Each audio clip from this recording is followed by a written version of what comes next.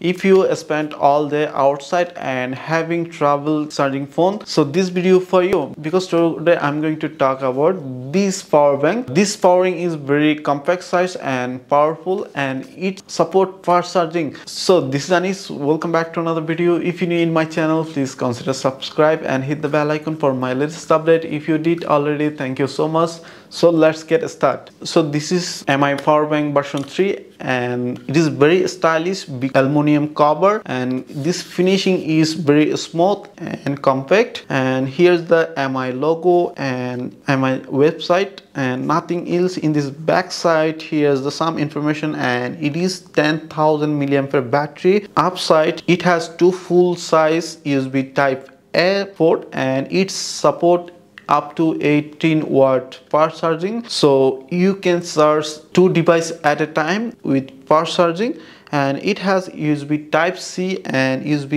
mini. So you can use USB uh, mini or USB type C to charge this power bank.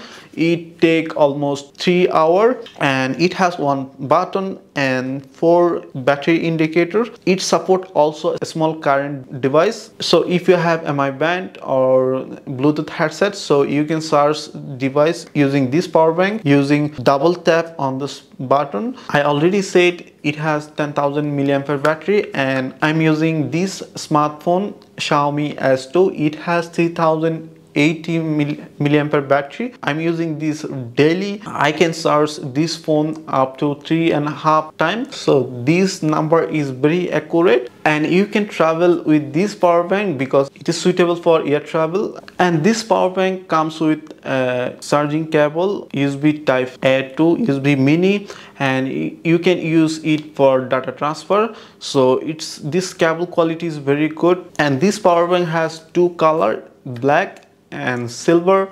So you can choose your desired color options but i like black color. So what do you think about this power bank let me know in comments.